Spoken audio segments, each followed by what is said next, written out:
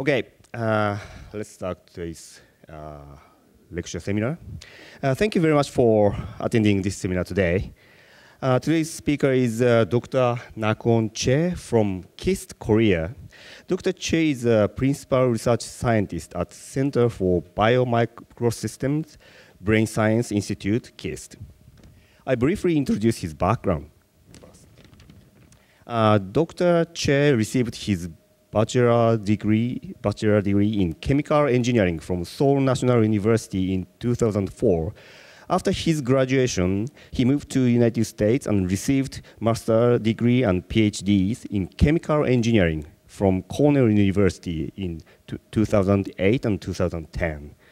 He continued at Cornell University as a postdoctoral associate. Then he moved to Novartis Institute for Biomedical Research and Massachusetts Institute of Technology as a presidential postdoctoral fellow. Since 2012, he has started his laboratory at KIST and been focused on developing enabling technology platform for various biological applications, preliminary including brain neuroscience. There is no doubt that he is a top leading young researcher in this field. Actually, he's the author of the high standards journal papers, including Nature Materials, Nature Communications, PNAS, and so on. In 2015, so Japan had a Nanotech 2015 at Tokyo Big Sight.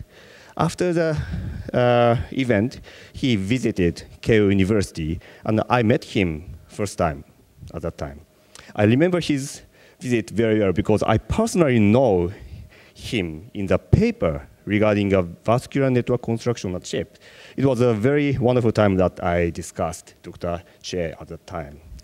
After that, we had a couple of Japan-Korea international workshop, both in Japan and Korea.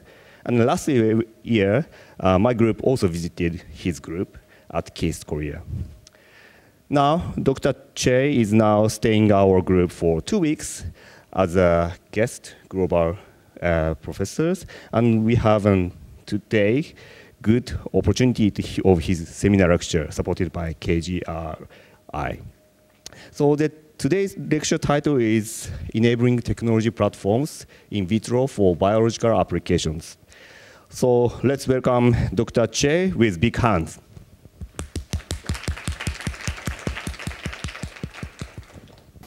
Let's get started. I have an, about, about an hour or 15 minutes. I'm going to go quickly. I have a lot of slides today, so uh, let me get started. Uh, just as Professor Onoe introduced me, uh, I, I claim, I trained, I was trained as a chemical engineer here, but my career has been developed as a cross-disciplinary or interdisciplinary biomedical engineer. Uh, I, I, worked uh, at a uh, pharmaceutical company as a postdoc as well. Okay, so um, since Professor Onoe covered uh, my CV, I'm going to skip it quickly. What are we, uh, who are we? Uh, I am working at the Center for Biomicrosystems and our center is in uh, Brain Science Institute. And it's a unique situation where all PIs, faculty, staff members are all engineers, except for one chemist. So our mission is to provide engineering tools for neuroscientists or brain scientists, or more broadly, biologists. Okay? Um, so we are, we're developing uh, various engineering tools uh, that can be used for studying uh, neuroscience. Okay. My lab um, is for developing enabling technology platforms in vitro mostly uh, for brain and uh, brain science and neuroscience. And I have two major research themes. One is organs tissues on chips or brain neural tissue engineering. And the other topic is a hydrogel-based multiplex bioassays. That's for in vitro diagnostics and prognosis. So I'm going to cover all of these topics uh, quickly, and I, will try. That includes neural, neural circuit on a chip, or blood-brain barrier on a chip, neurovascular unit on a chip, and other uh, hydrogel-based microassays to detect DNAs, microRNAs, and proteins uh, that are associated with the diseases. Okay? So the first topic, the brain on chips.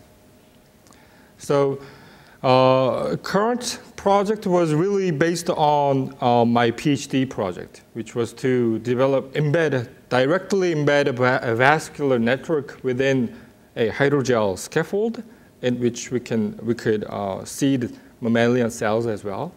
So these are two examples uh, with a microfluidic scaffold uh, to do temporal control and spatial control of a cellular microenvironment. So this is a green and uh, red dyes uh, exchanging uh, in a sequential manner.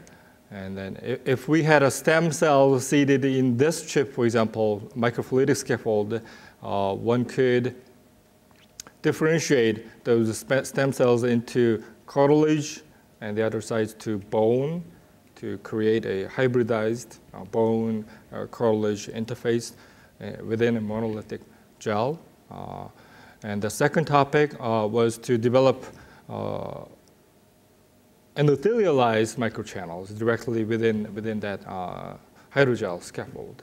Okay? So let's move on to based on these tools, uh, I started uh, developing neural tissue on a chip since I, after I joined the KIST, okay? And neural tissue on a chip can be categorized uh, in, into brain on-chip or organ on-chip. And more broadly, it's human on-chip. Okay, little, our organs or tissues in our body on a small chip then how, how can we mimic that? How can we recapitulate microphysiology or pathology uh, into a little chips? Okay? And the USA launched a huge government-driven project at, uh, in 2012. It's called the NIH Tissue Chip Program or Tissue Chip Project. And it was, ultimate goal was this project was to test uh, uh, to develop disease models and ultimately to test drug efficacy or toxicity. Then instead of doing animal experiments, can we replace those animal experiments with these in vitro chip experiments? That was the uh, main idea. And this is a famous lung on a chip example uh, developed by a Professor Huh uh, who is now in uh, UPenn. And let's go back to the brain on a chip. Then a lot of people have been working on developing either blood-brain barrier or BBB on a chip or neurovascular unit on a chip, both of which are involved in uh, blood vessels. Okay? And for we thought that uh, for neural tissue on a chip, uh, technologies were not quite there that was back in uh, 2012 when we started this project. Okay? And we reasoned uh, that there was a missing key element or aspect, and that was the anisotropic organization or directional alignment. I'm gonna, I'm gonna say these words a lot from now on, so keep remembering this, this word, okay? So anisotropic organization in our uh, organ or tissue or in the brain and directional alignment. Okay. And this project was, uh, was not done by myself. It was done uh, by collaborating with a neuroscientist, uh, Dr. Eun-mi and her postdoc, Dr. Sun-Kyung Im. And all the electrophysiology experiments were done uh, by Dr. Lee, Justin, Justin Lee and Sujin Oh. And these two people are my group members who, who developed the technology side. Okay. So uh, yeah, take a look at the video.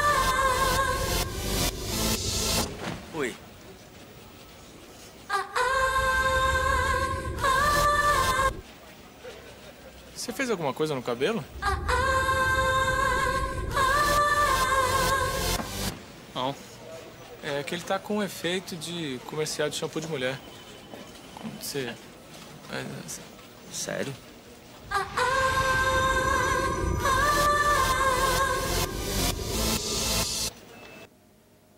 So, can you notice a difference between these two cases from picture and a movie clip?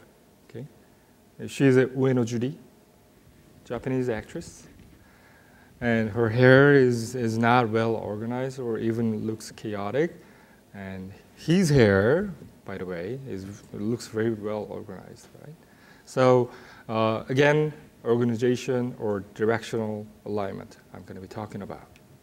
So if we look at our body, and pretty much all tissues and organs are tremendously organized well. And these are two examples. Uh, one is heart, and the other one is brain. And these rainbow looking like fibers are actual neurons in the body uh, interconnected each other. Okay, and in the heart, the direction of the cardiac tissue is getting different as we go uh, deeper and deeper into the heart tissue, angle-wise. Okay, so these are two uh, extremely uh, representative examples uh, regarding the anisotropic organization in, in, in the body.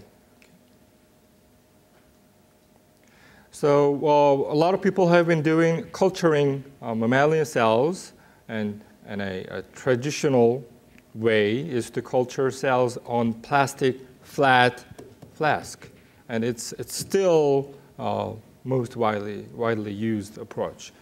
And since late 1997 or late 1990s, the concept of tissue engineering was developed by two researchers in USA.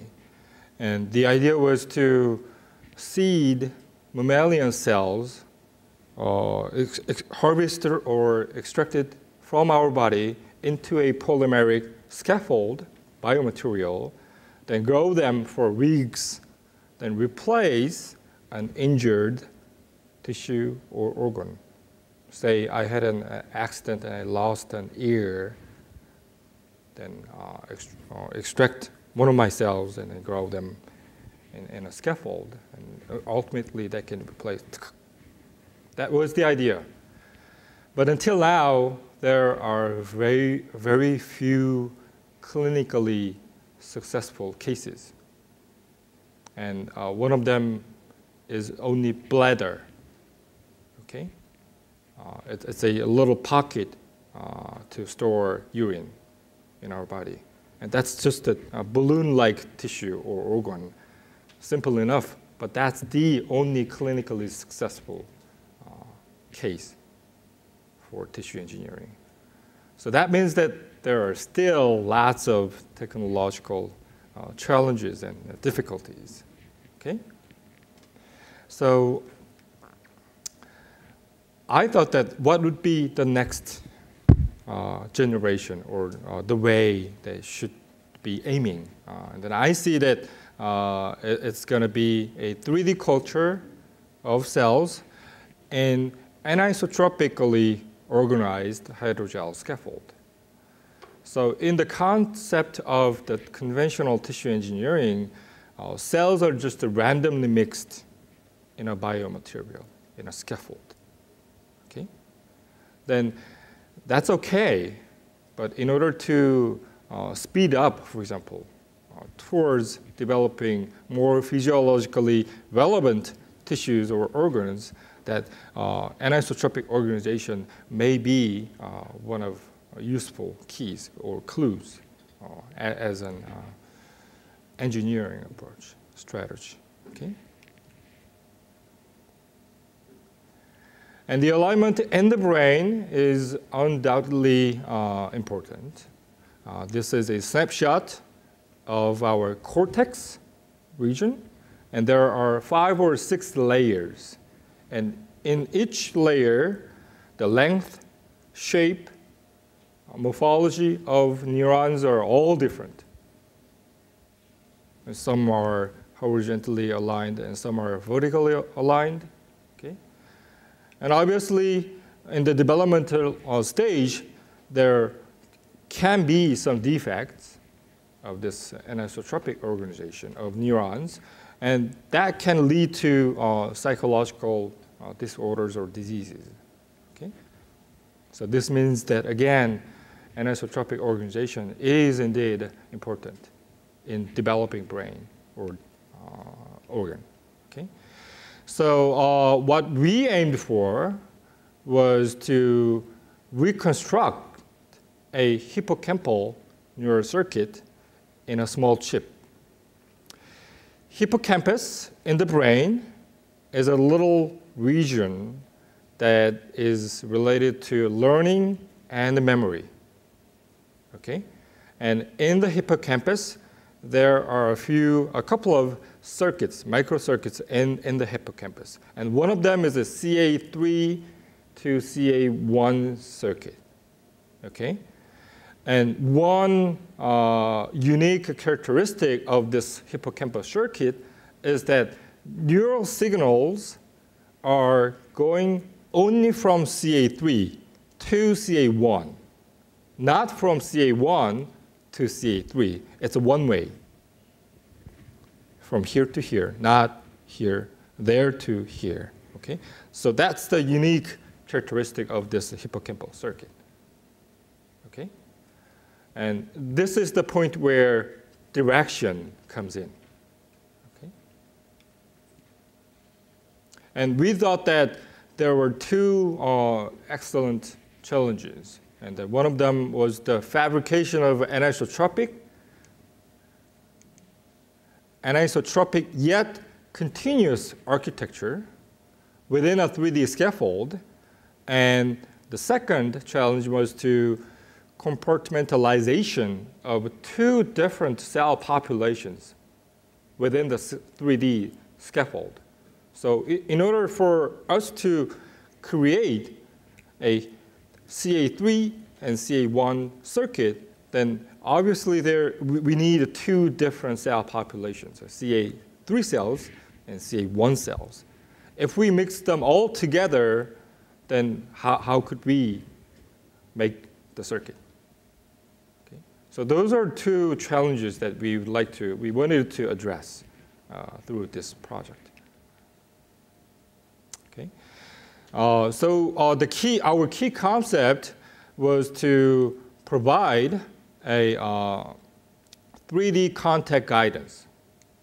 And that this can be done by aligning collagen microfibers. Okay? And collagen type 1 is a fibrous hydrogel or a fibrous biomaterial in which we can seed mammalian cells.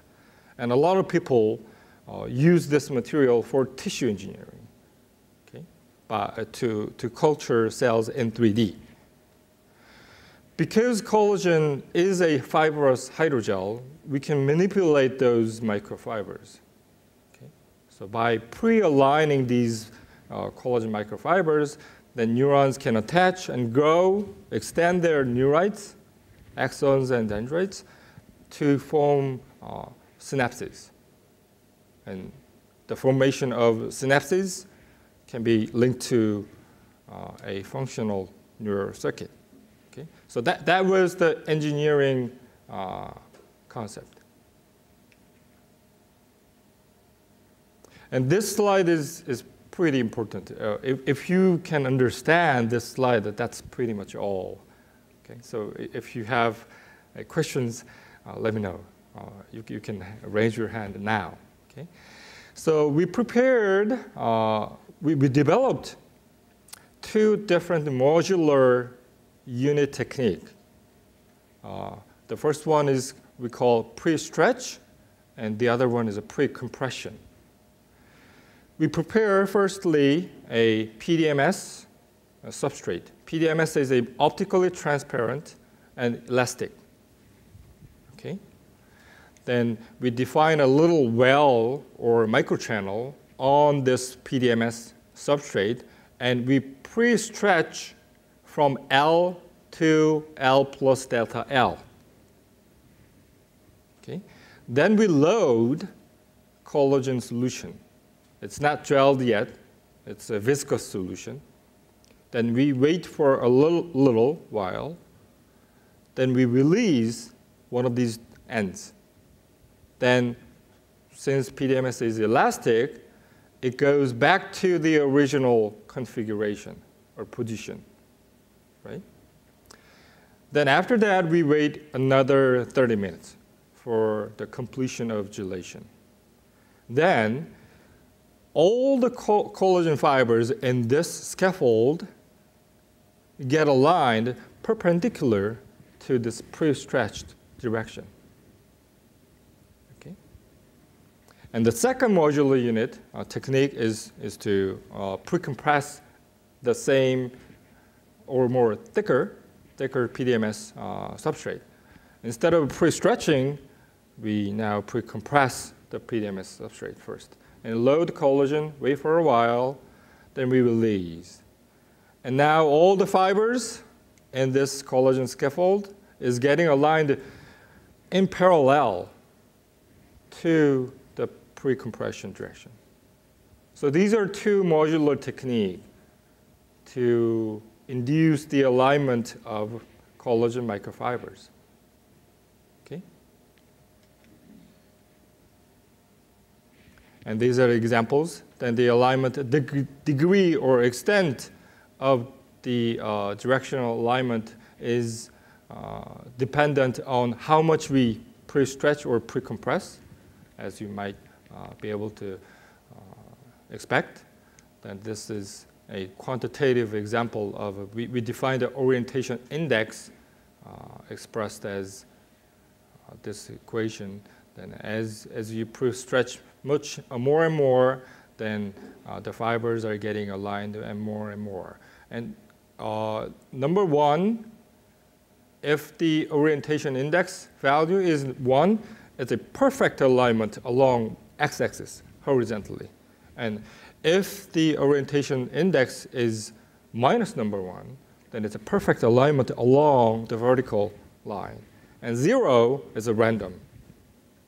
So there's no uh, uh directional alignment. And one of the advantages of this technique is that we can uh, uniformly align all pretty much all the fibers in a 3D scaffold. So this is a uh, Z-stacked uh, confocal microscope imaging uh, through 100 micron thick. Okay. And the blue uh, color-coded uh, fibers are all horizontally aligned. And for the pre-compression, again, red labeled, vertically aligned. Okay, then how, how, how could we align these collagen microfibers? And that's closely related to the mechanism of the gelation. Okay. Collagen, it's, it stays as a liquid or viscous solution form when it's cold and pH is pretty low in an acidic condition. Okay? So that's, that's the point where uh, all the collagen uh, exists as a single proteins. Okay?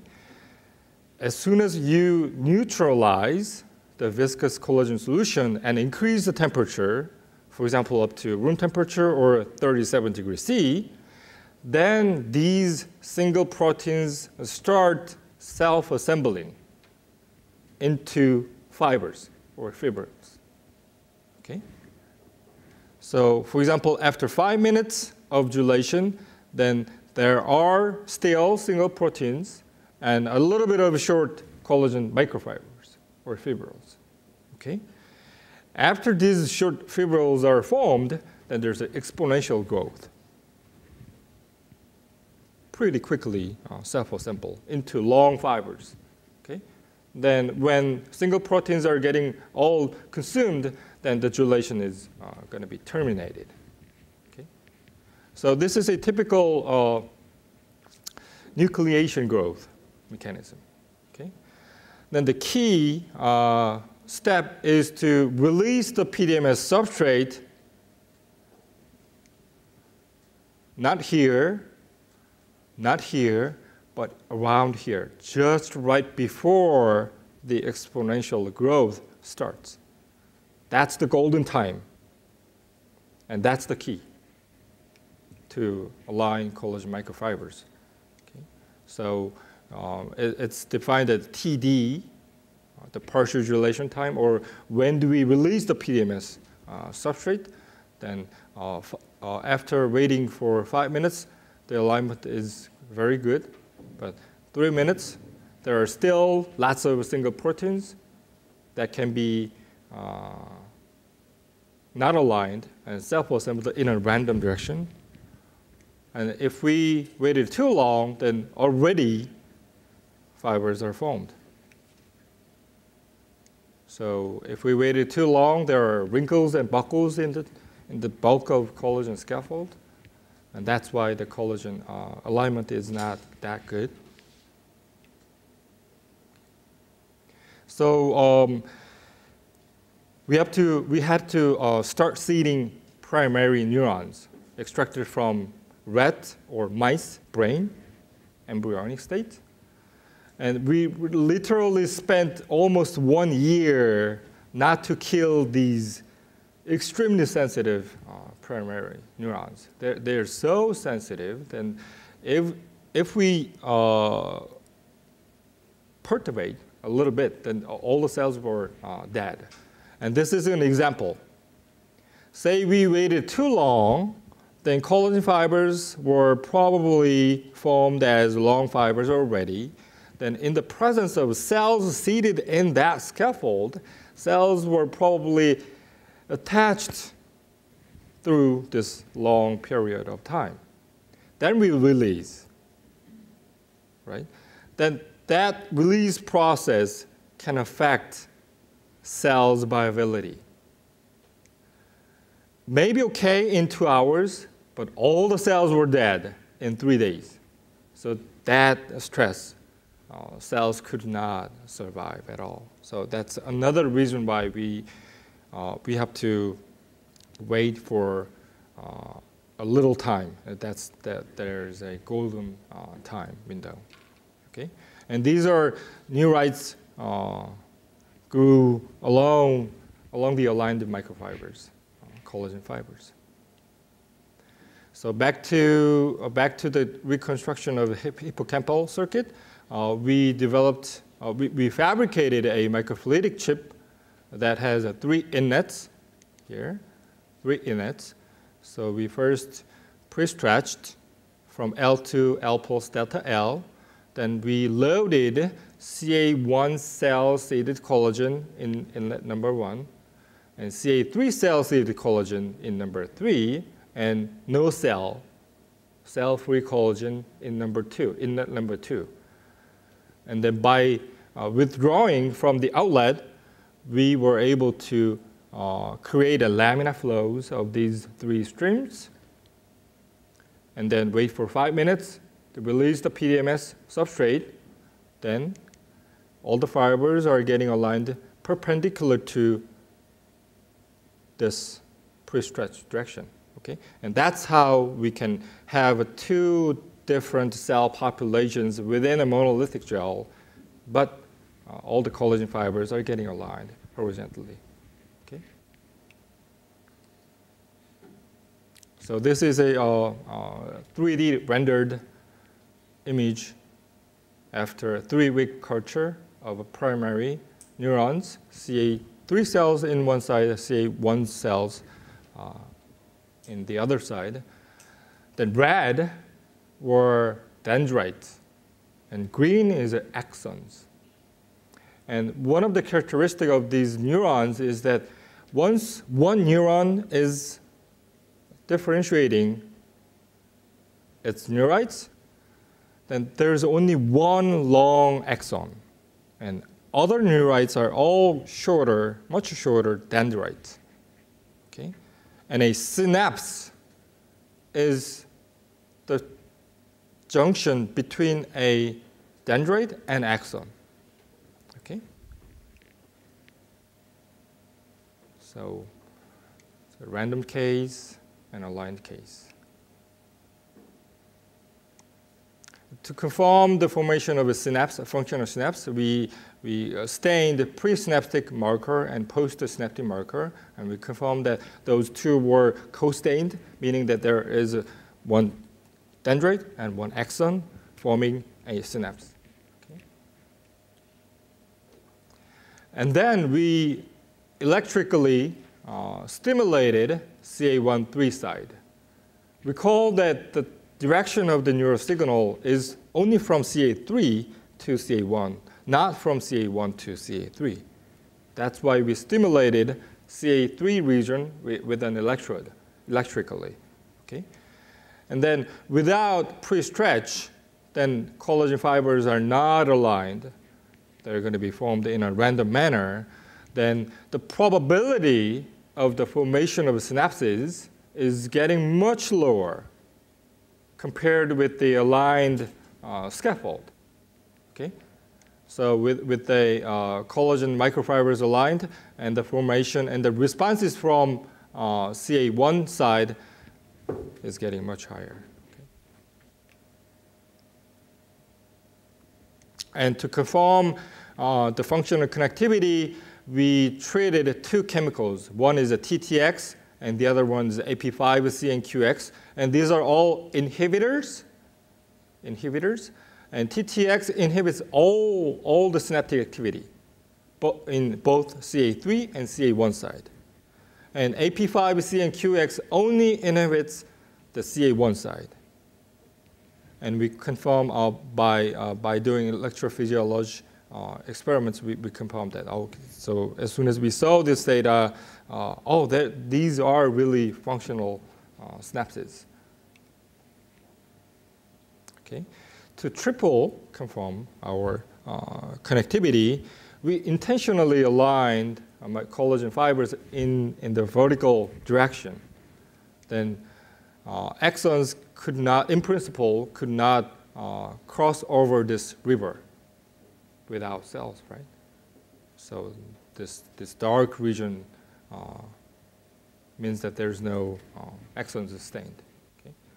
And obviously, without these axons connected to uh, dendrites, then no responses from the CA1 region when we stimulated uh, CA3 cells electrically. And uh, we, we, now have started some collaborations by utilizing uh, seeding uh, other types of cells. Uh, one, one example is to use a fibroblast, uh, connective tissue cells, and the other one is a myoblast uh, towards developing cardiac tissues with this alignment implemented. Okay. So from now on, I should be in a hurry. The second topic is a BBB, a blood-brain barrier. Blood-brain barrier is a unique uh, part in, in the brain. In the brain, people still believe that there are no immune cells in the brain. So without these blood vessels in the brain tight enough, then other uh, foreign materials can penetrate into the brain tissue and damage, right? So uh, throughout the development uh, stage, especially blood vessels in the brain are so tight that any external molecules cannot really penetrate into the brain tissue and vice versa. materials accumulated in the brain tissue cannot also uh, come out into the blood vessels. And people are using transwells to test drug molecules, but that's not physiologically relevant. So um, we, we aim to recapitulate uh, the microphysiology of the brain, uh, blood-brain barrier. And this is also uh, one of the topics that Professor Onoe is working on. So we first inserted microneedles and poured collagen and gelated and pulled those needles back out. And that's how we were able to create a cylindrical uh, channels, then plated onto the inner surface of those microchannels with brain endothelial cells. And then uh, we measured quantitatively uh, trans endothelial permeability from the vessels to the tissue area uh, by uh, delivering a, a, fluorescent dye uh, uh, with this equation that we derived. So we are currently working on co-culturing uh, other types of uh, brain cells, uh, such as astrocytes, pericytes, other types of cells into the bulk so that we can uh, mimic the neurovascular unit. Uh, we, we would like to uh, think of it as a disease model ultimately, but there are lots of technical challenges as well. Okay. So the fundamental question uh, that most neuroscientists are asking is how, how is the central nervous system, CNS, is working and how, how does that lead to behaviors? Okay? So um, we, we think that our in vitro culture platform can serve as, as a bridge between normal state and unhealthy or diseased state. So we are, we are working on developing uh, these enabling technology uh, tools. Okay. The second topic is the hydrogel-based assays. Uh, this, was a, uh, this was a technique that I learned when I was a postdoc at MIT, uh, chemical engineering department. Uh, they developed a pretty fun technique uh, which is to uh, fabricate lots of hydrogel microparticles real time by flowing photo cross-linkable hydrogel again. Uh, it's a synthetic polymer called polyethylene glycol diacrylate. Uh, in the presence of a photo initiator, then we, we, we form laminar flow here, then shine UV uh, stop the flow, shine UV, and apply the pressure again, and repeat these cycles. And that, that's how we can create a lot of particles. And in these particles, we can photochemically conjugate antibodies or single-stranded DNA oligomers or aptamers even to capture DNAs, microRNAs, mRNAs, and even proteins that can be uh, considered biomarkers for diseases. Okay?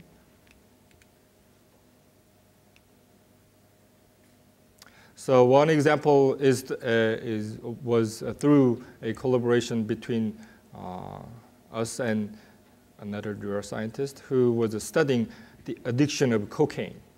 Okay. So if we take cocaine, then our brain is getting addicted. Then what, what's going to happen?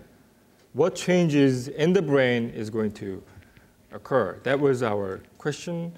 Uh, to verify our technique, then typically this epigenetic changes is through the uh, post-translational modification of uh, histones. Histones are proteins, and to detect proteins, Western blot has been widely used, but to do Western blot, uh, we need certain amount of samples, for example, brain lysate. So it was not possible to do one batch of Western blot with a single mouse. brain, and this is the real data, then they're all uh, statistically insignificant. That's because we see ensemble averages from multiple mice. Okay? So uh, by fabricating, again, these hydrogel microparticles, uh, in which here we call probe region, uh, we photochemically conjugated an antibody or antibodies to uh, multiplex uh, detect various types of modified histones. Then we found that we were able to detect the change in translational, post-translational modification or epigenetic change uh, from mice that were fed by cocaine for one week. So compared with a uh, control case, there was increase in acetylation in H3K9 uh, histone. Okay? And the, these data uh, were acquired by, uh, from uh, mouse, uh, single mouse, and at least to compare this data with a conventional technology, we had to sacrifice at least four mice to get the same kind of data. And we can even do uh, PCR with these hydrogel particles. Polyethylene glycol diacrylate or polyethylene glycol, PEG, uh, is pretty much independent on uh, temperature changes. Uh, that's why we can do PCR. Uh, in the PCR, we should increase temperature up to 95 degrees C for a few seconds or a minute and go back, back and forth. Okay? And the key uh, concept is, is to photochemically conjugate or immobilize one of primers, either forward or reverse primer into this hydrogel post. And that's how we can do the PCR and all the PCR signal stays within these hydrogel constructs. So uh, with these hydrogel posts or hydrogel uh, constructs, we can do multiplex qPCR, and that's, that's the advantage. Okay. So this is pretty much it. Uh, I'm going to spend a little more time uh, with questions or conversations. And this is my uh, uh, probably the last slide showing my scientific and educational philosophy. Um, it's a uh, 良いプロジェクトはない。ただ 良いプロジェクトを作る人々だけがあるいるだけ。Uh, this is my uh, philosophy. So uh, thank you and let me know if you have questions.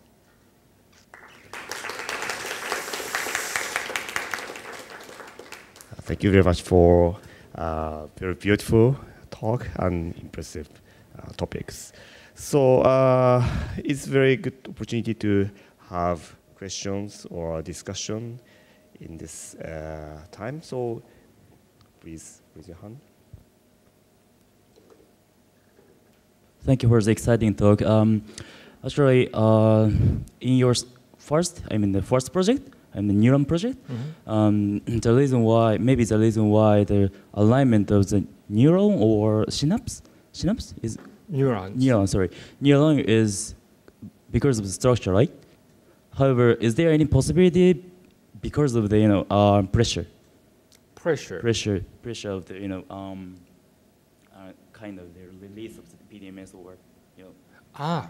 Ah. Okay. Okay. Yeah. Yeah. yeah. So um, at the end of the day, there's no effect uh, or negligible okay. effect, but we had a hard time because again, these primary neurons are so sensitive, a little bit of pressure or stress by releasing the PDMS substrate can really kill all the cells. And why? Why, why is it safe now? And again, uh, in five minutes, there are still single collagen proteins and a little bit of fibers. So it's not really gel. It's not really sol. It's some between sol and gel. gel. So in this sol gel transition, uh, this media serves as a cushion. So that's why cells are okay In five minutes, they're still floating, not attached. So that's why. So you mean maybe you think um, neural cells has no mechanism inside? Uh, I, I think they, they have. Yeah, I think so. Yeah, I think so. Thank you. Yeah. Thank you for the presentation. And my uh, my question is that in the uh, in the first topic, there uh, in order to align the uh, uh, align the um, uh, Fibers? fibers in uh, collagen. Collagen? Uh, you, uh, sorry, I don't understand the mechanism. Why the uh, the alignment is uh, achieved? Uh, I mean that in the uh, alignment uh, of in the x-axis or y-axis, uh, you mean uh, you say that uh, if you compress the uh, the alignment is like uh, of in the y-axis. right? Mhm. What is the, the me- mechanism? Okay. So I skipped, but uh, let me show you this slide. So for the pre-stretch, say this dark line is a microfiber, short fibril in five minutes of partial gelation. And we can draw a unit volume, surrounding volume, okay? So that's already pre-stretched state. In five minutes, we're going to release one of the two ends. Then it effectively compresses back to the original configuration, right? And that's why this uh, dark arrow is. Then as this, let's, let's take a look at this length. This part is getting shorter, right? Because it, it compress, it's getting compressed, okay? Then this short fiber is getting rotated this way. And that's how we pre-stretch this direct, along this direction, but the fiber is getting aligned perpendicular to the uh, pre-stretch direction.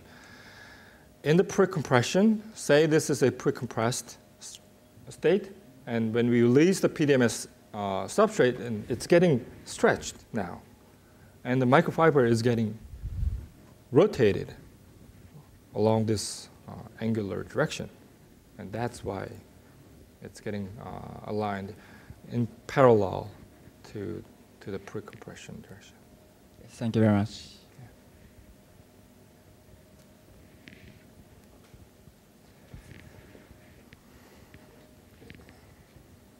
Hello. Hello. Uh, thank you for your intriguing uh, lecture. Um, I have two questions. Um, my first question is um, it's just out of curiosity. Um, do you think it is possible to contain a single CA1 cell and a single CA2 cell and put that on the chip?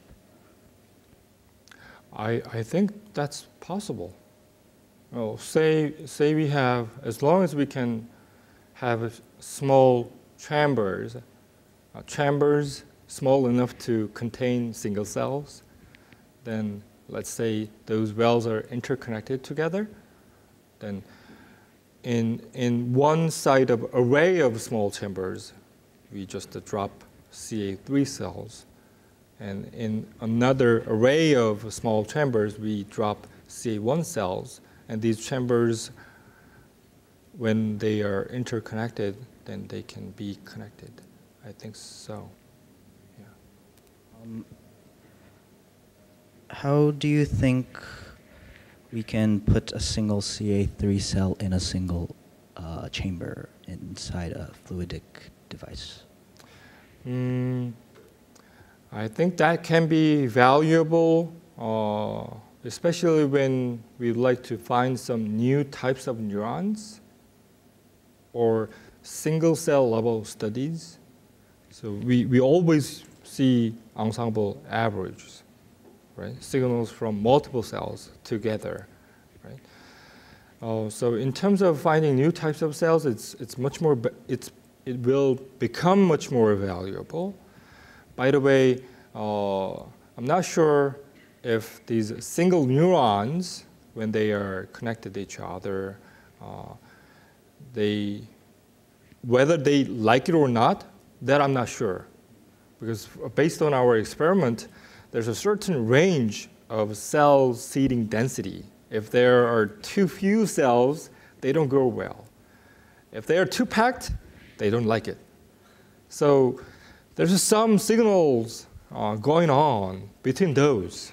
And we, we did not replace or refresh media every day or two days. That's not the typical case. If we refresh too often, then again they, they are dead. So somehow uh, they're uh, communicating each other through some biochemical factors as well. So that's why I mentioned that an array of wells where uh, in each chamber single cell, but not just a single cell, but array of single cells so that they can communicate each other. That, that could be better. Thank you. Um, my second question is uh, for the CA1 and CA3 circuits. Um, these are two specific types of neurons. Um, do you think it's possible to do a more elaborate circuit on a chip?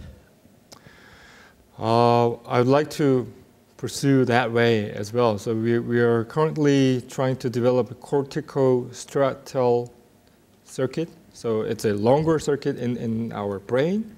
So that's definitely, the older circuits are related to neurodegenerative diseases such as Parkinson's disease or even Alzheimer's disease and other uh, defects. So uh, that's the way to go. Uh, technically challenging, but yeah, we should go that way. Thank you.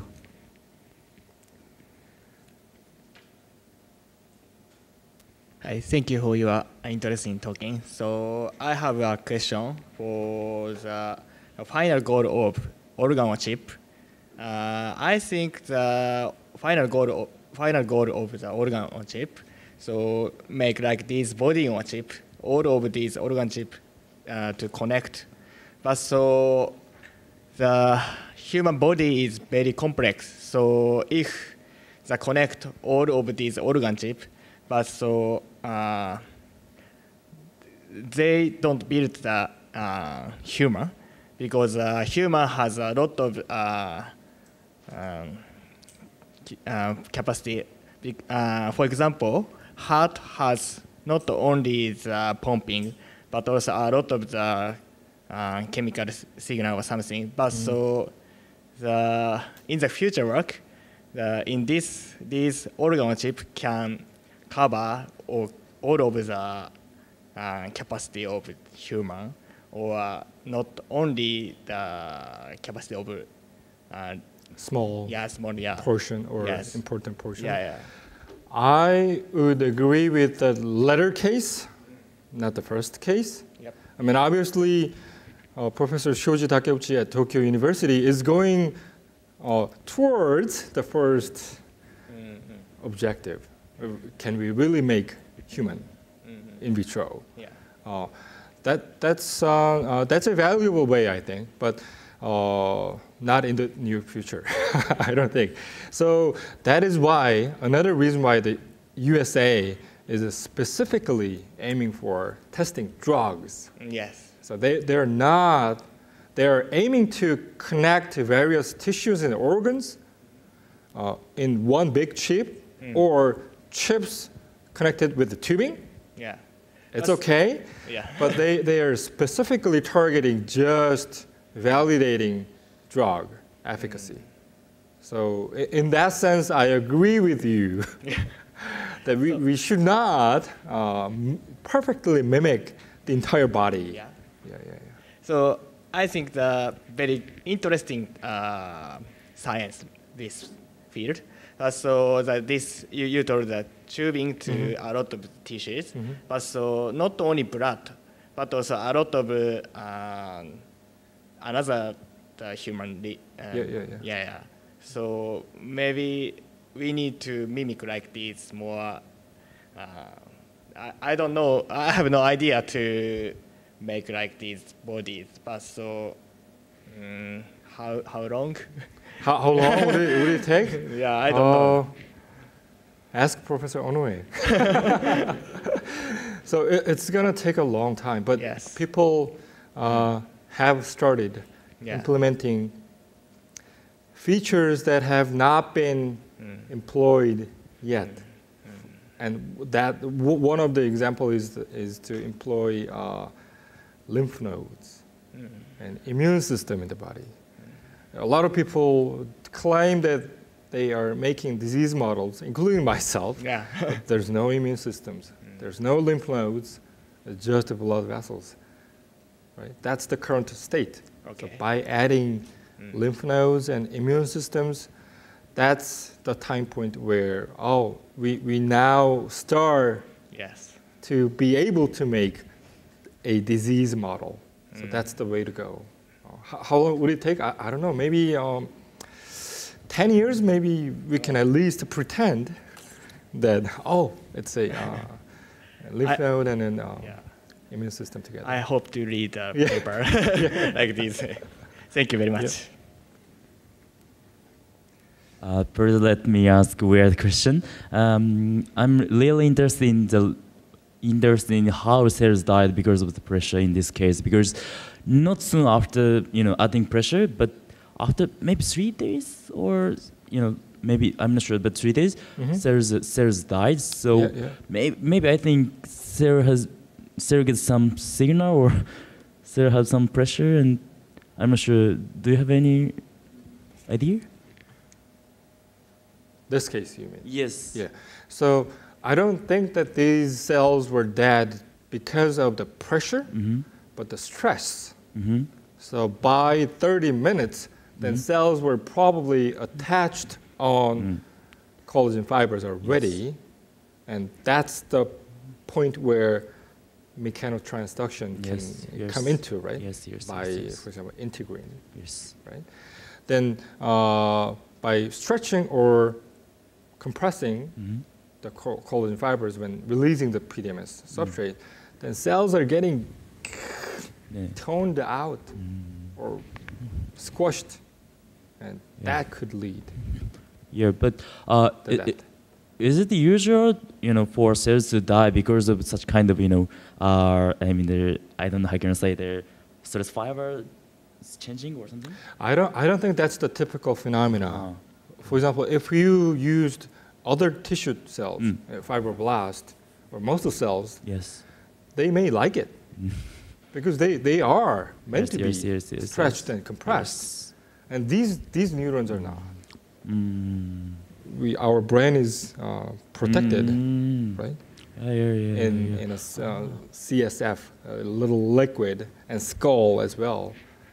And when we are hit by a uh, mic, for example, then we could lose our memory where I was. Oh, That's why, you know, the brain is fragile. Yeah, yeah. I, I see the exactly. point. And a lot of people have been researching, studying Mm-hmm. traumatic uh, brain injury or TBI. Okay. Yeah. Thank you so much. Okay, so uh, okay, so let's uh, thank a very inspiring, exciting talk again to the Dr. Choi. Thank you very much.